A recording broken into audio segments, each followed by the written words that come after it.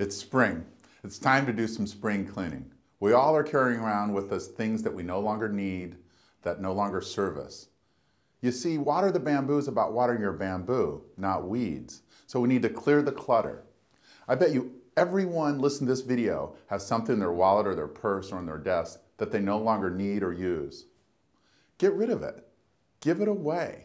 Put it in recycling. Put it in the garbage. Get rid of it. Clear the clutter so you can see the things that are important for you to be thinking about and working on. You see, you only have so much time and energy. You need to put your time and your energy into your bamboo. Doesn't make sense to water weeds. It's ironic about weeds, they grow anyway. Make sure you focus on watering your bamboo. One of the greatest ways to do that is to get rid of the things that you don't like, that aren't serving you. Just get rid of them. Dig in your wallet, dig in your purse right now. Dig it out and get rid of it. Clear the clutter.